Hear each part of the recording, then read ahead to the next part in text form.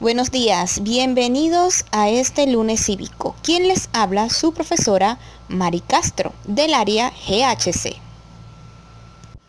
Hoy les estaré hablando sobre el 12 de febrero, Día de la Juventud.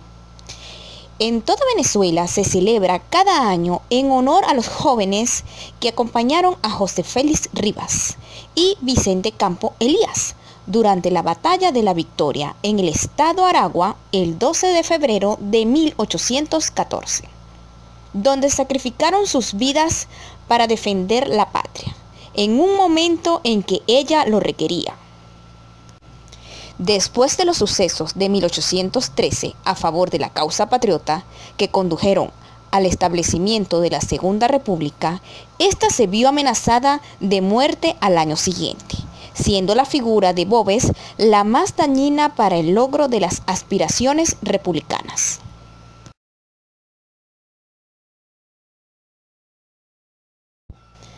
La marcha incontenible del ejército de Bobes, desde los llanos hasta Caracas, ponía en peligro la vida de los patriotas y la estabilidad de la República.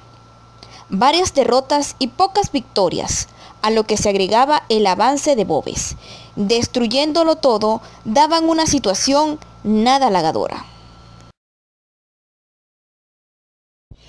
Pero Rivas se propuso hacerle frente al ejército de Bobes en la población aragüeña de la Victoria, para lo cual logró organizar un bisoño ejército de jóvenes, la mayor parte estudiantes de la Universidad y el Seminario de Caracas. En esta batalla de la victoria, los estudiantes reclutados por Rivas pusieron muy en alto el entusiasmo, el valor y el patriotismo de la juventud venezolana.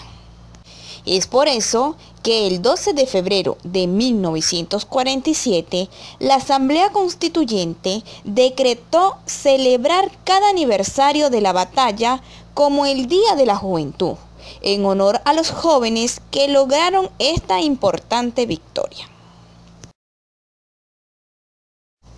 Cabe resaltar que en la plaza principal de La Victoria, hoy llamada Plaza José Félix Rivas, se colocó un monumento, esculpido por Eloy Palacios, inaugurado en 1895 que representa a Rivas dando indicaciones a unos jóvenes sobre el manejo del fusil. Feliz Día de la Juventud y recuerda, solo el hoy construye el mañana.